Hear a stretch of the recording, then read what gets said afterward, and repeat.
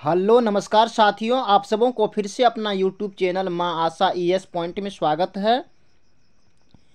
मेरे प्यारे साथियों, आज की इस वीडियो में मैं आपको क्लास ट्वेल्थ, हिस्ट्री के चैप्टर थ्री, जिसका नाम है सामाजिक इतिहास, महाभारत के विशेष संदर्भ में, उसके सभी ऑब्जेक्टिव क्वेश्चन को इस वीडियो में हम सॉल्व करने वाले हैं। इसी वजह से इसको आप लोग ध्यान से अंत तक देखेंगे। और ये चैप्टर आपके जो है ना बुक में बहुत इंपॉर्टेंट है। महाभारत से आपके बोर्ड एग्ज़ाम में प्रत्येक साल क्वेश्चन पूछा जाता है। इसलिए आप लोग इसको ध्यान से अंत तक देखेंगे और अगर आप हमारे यूट्यूब चैनल पे नए आए हैं तो सबसे पहले इसको सब्सक्राइब कर लेंगे और बेल आइकन को भी दबाएँगे। ताकि जब भी हम वीडियो अपलोड करें, सबसे पहले आपके पास इसका नोटिफिकेशन जाए।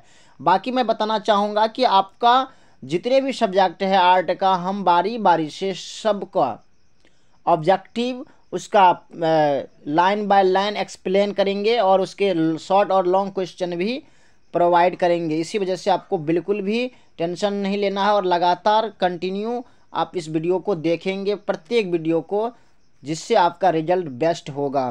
तो चलिए, इसके सभी ऑब्जेक्टिव को सॉल्व करते हैं। तो प्रथम क्वेश्चन है कि महाभारत की रचना किस भाषा में होगी देखिए 2019 में पूछा गया है। तो महाभारत की जो रचना जो है ना, ये किस भाषा में हुई? तो आपके सामने ऑप्शंस है, ए, संस्कृत, दूसरा है पाली, तीसरा प्राकृतिक और चौथा है हिंदी।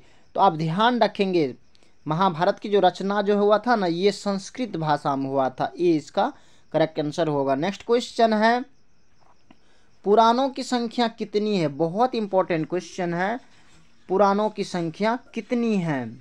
आपके सामने ऑप्शंस है, सोलह अठारह, उन्नीस और बीस। तो याद रखेंगे पुरानों की संख्या अठारह है। बीस का करेक्ट आंसर होगा। नेक्स्ट क्वेश्चन है कि श्रीमद् भागवत गीता के महत्व पर किसने विचार व्यक्त किए? तो आपके सामने ऑप्शन है। महात्मा गांधी, दूसरा है विवेकानंद जी, तीसरा है बाल गंगाधर तिलक और चौथा है इनमें से सभी। तो इनमें से सभी जो है ना डी इसका करेक्ट आंसर होगा। ये सभी ने भगवत गीता पर टिप्पणी की है। यानी कि सभी ने भगवत गीता पर आ, कुछ न कुछ लिखे हैं कुछ न कुछ बोले हैं। नेक्स्ट है मनु स्मृति के रचयिता थे। तो आपके सामने ऑप्शन है वेद व्यास दूसरा है वाल्मीकि तीसरा है मनु और चौथा है यागवल्लभ। तो इसका करेक्ट आंसर हो जाएगा आपको सी देखिए यहाँ मनु स्मृति है मनु आ गया ना पहले तो आपको ध्यान रखना है मनु से मनु जी ने मनु स्मृति के रचयिता है उन्होंने ही लिखा है। नेक्स्ट क्वेश्चन है कि मनुस्मृति में कितने प्रकार के विवाह का उल्लेख किया गया है? कहते हैं कि मनुस्मृति में कितने प्रकार के विवाह का उल्लेख किया गया है? प्रथम ऑप्शन है चार, दूसरा है छः, तीसरा है आठ और चौथा है नौ। तो इसका करेक्ट आंसर हो जाएगा आपको सी यानी कि आठ। सी इसका करेक्ट आंसर होगा। नेक्स्ट क्वेश्चन है कि महाभारत का युद्ध कितने दिनों तक चला? बहुत इंपॉर्टेंट क्वेश्चन है। तो क्या होगा इसका आंसर पंद्रह दिन सोलह दिन, सत्रह दिन या अठारह दिन। इसका करेक्ट आंसर हो जाएगा आपको डी यानी कि अठारह दिन।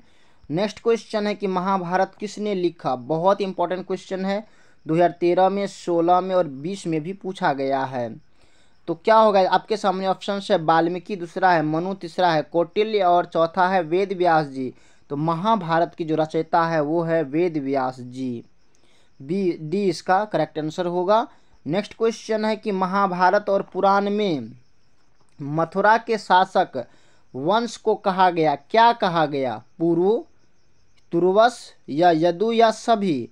तो महाभारत और पुराण में मथुरा के शासक वंश को जो है ना, यदु कहा गया। क्या कहा गया?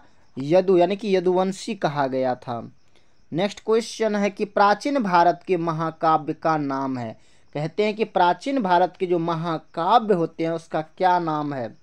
महाभारत, ऋग्वेद या मनुस्मृति या इनमें से कोई नहीं। तो जैसे महाकाव्य आ गया, अगर रामायण है, या महाभारत, दो गो ऑप्शन देगा। अगर रामायण रहता है इसमें तो रामायण होता। अगर यहाँ पे ऑप्शन दिया हुआ महाभारत तो ये क्या होगा? महाभारत। ये इसका करेक्ट आंसर होगा। नेक्स्ट क्वेश्चन है कि रामायण की रचयिता किसने? रचना किसने किया? यानी कि इसके रचयिता कौन है? किसने इसको रामायण को लिखा? वाल्मीकि, मनु, वेदव्यास या याज्ञवल्लभ? तो इसका करेक्ट आंसर हो जाएगा आपको ए यानी कि वाल्मीकि जी।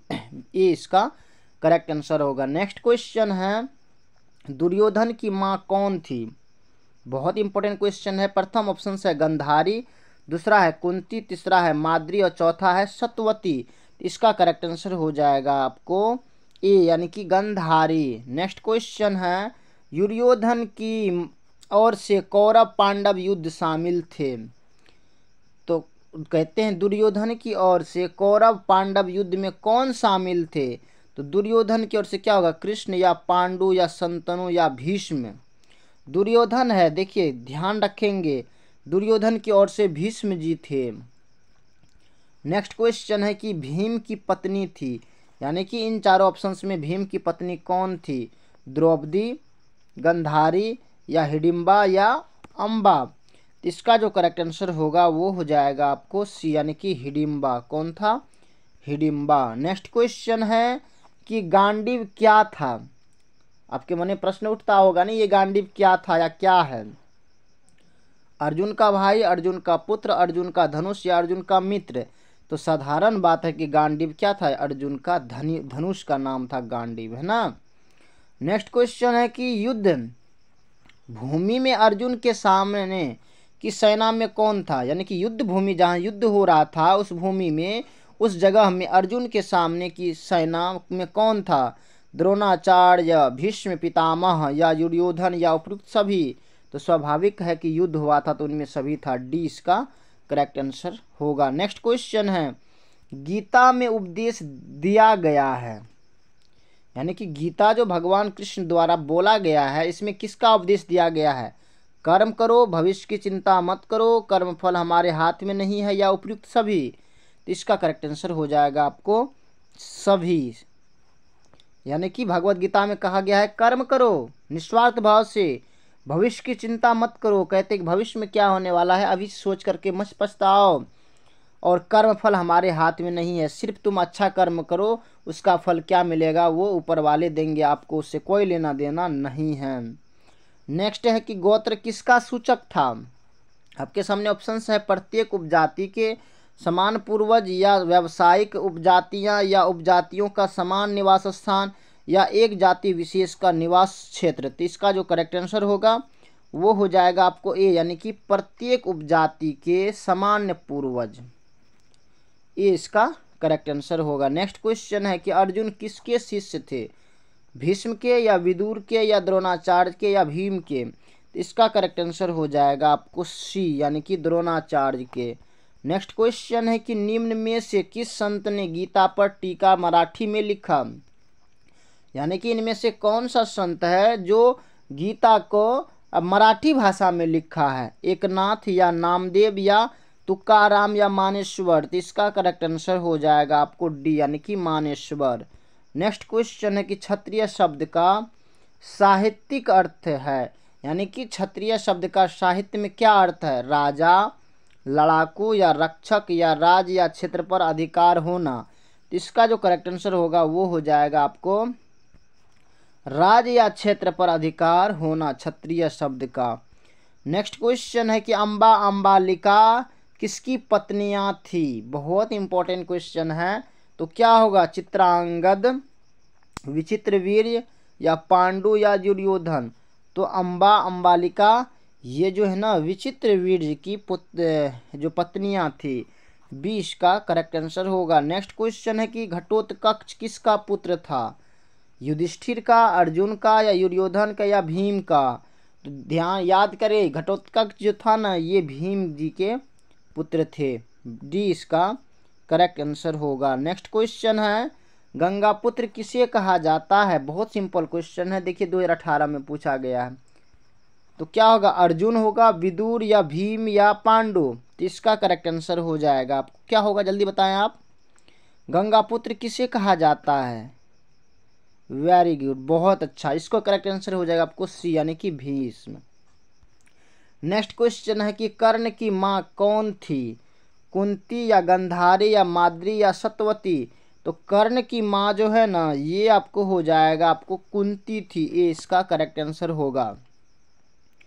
अब है, कर्मण्य सेवाधिकारस्ते। कर्मण्यवाधिकारस्ते माँ फलेशु कदाचन श्रीमद् भगवद गीता के किस अध्याय में वर्णित है? यानी कि ये किस अध्याय में लिखा गया है? प्रथम, द्वितीय, तृतीय या चतुर्थ? तो इसका करेक्ट आंसर हो जाएगा आपको बी यानी कि द्वितीय। नेक्स्ट क्वेश्चन है, मानव जीवन के संपूर्ण जीवन को कितने आश्रमों में बांटा गया है?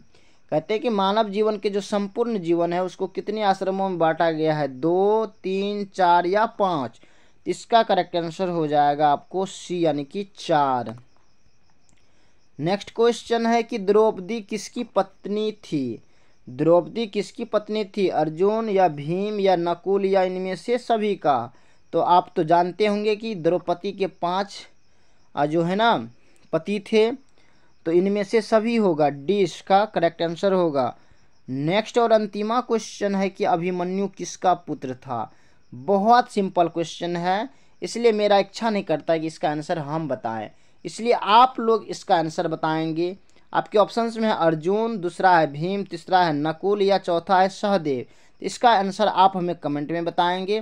बाकी इस चैप्टर का जो मुख्य मुख्य ऑब्जेक्टिव था, हमने इसको बताया। अगर इस चैप्टर का पूरा एक्सप्लेन वाला एक वीडियो चाहिए तो आप हमें कमेंट में लिखेंगे।